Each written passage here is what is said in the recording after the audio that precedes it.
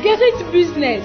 Gerrit Business est enfin là pour vous aider à booster votre chiffre d'affaires. Opérateurs économiques, commerçants, artisans et autres, cet espace est à vous. Sur l'émission Gerrit Business de Gerrit TV Monde, le client peut présenter les produits dans la langue de son choix. Pour tout renseignement, veuillez vous rapprocher du service commercial du groupe de presse La Guérite ou appeler le 00229 97 26 26 111. Guérite TV Monde, le leader de Web TV au Bénin.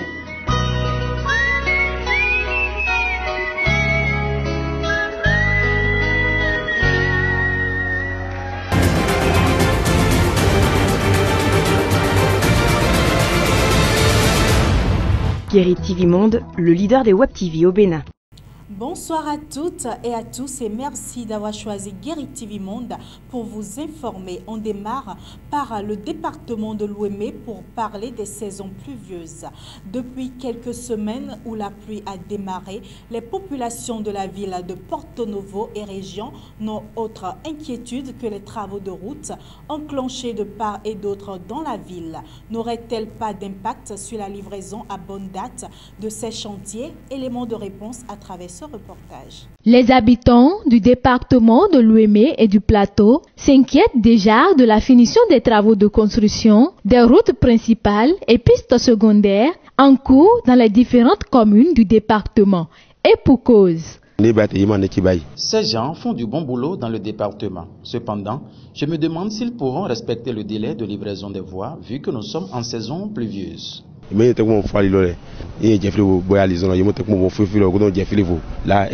Outre cette préoccupation, Boris Sodinou exhorte les agents en charge des travaux à poser plus de panneaux de signalisation pour la prévention des aléas sur les sentiers.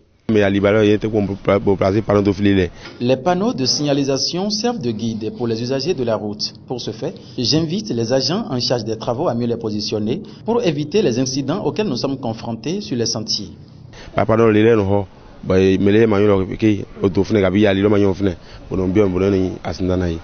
À présent, parlons de l'initiative de la radio Océan FM dénommée Paris Bac. C'est ce qui était au cœur de l'émission 3 questions de Guéri TV de ce mardi 28 mai 2019.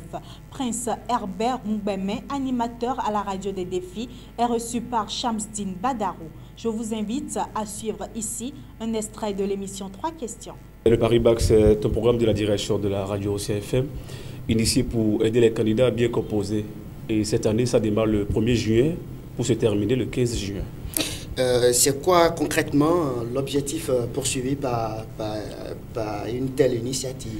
Ben, L'objectif, c'est de promouvoir l'excellence. chaque année, déjà, on met au défi euh, toutes les autres stations et par notre programme initié pour accompagner les candidats aux différents examens. Et on déplace des professeurs certifiés pour leur rappeler les notions essentielles à savoir pour composer le baccalauréat. Et cette année, comme je le rappelais, ça démarre le 1er juin. Euh, déplacer les professeurs vers la radio sur, au niveau de la station, c'est pas facile. Il faut investir alors, hein. il faut mettre beaucoup de moyens. Comment la radio arrive à, couvrir toutes ces charges? Ben, Fidèle à, son projet de, et à sa vocation de radio leader, on fait appel aux partenaires pour nous accompagner à chaque année. Dernière ligne droite dans cette édition Gouvernance Talon, le Bénin sera-t-il éligible à un MCA 3 C'est ce qu'a titré en manchette Matin Libre dans sa parution de ce mardi 28 mai 2019. Suivez le contenu de l'article à travers ce récit. Dans quelques trois ans, sinon moins, le Bénin, s'il était toujours possible, se serait déjà lancé dans la course pour son éligibilité pour la troisième fois consécutive, après celle connue sous le régime de Mathieu Kérékou et Yahi Boni. Patrice Talon pourrait-il maintenir cette flamme allumée par ses prédécesseurs? C'est la question que se pose Matin Libre ce jour après son entrée en vigueur le 22 juin 2017, et ce pour 5 ans, le second compact pour le Bénin du Millennium Challenge et compte arrive logiquement à son terme en 2022. En effet, MCA n'est pas un programme qu'on attribue aux pays bénéficiaires par arrangement en fonction du degré de pauvreté dans un pays ou pour les beaux yeux de ses dirigeants.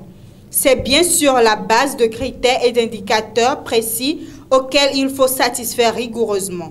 Ce n'est pas non plus la dernière année d'exécution du compact en cours qu'il faut se lancer dans la course à soumission de dossiers. C'est pourquoi il paraît important de s'interroger sur ce que fait le régime de la rupture pour un deuxième renouvellement du programme MCA sans grande difficulté au cas où il serait toujours possible pour le pays d'y postuler. Est-ce qu'on y travaille pour améliorer la gouvernance à ce niveau en vue de la restauration de l'image autrefois connue à l'international pour le pays en matière d'acquis démocratique s'interroge le journal. Deux ans ou trois, ce n'est plus loin. Il y a nécessité d'avoir cela à cœur, à moins qu'on veuille s'en passer en misant sur les emprunts obligataires ou les impôts et taxes à prélever pour combler le vide qu'aurait laissé le financement MCC selon le quotidien Matin Libre.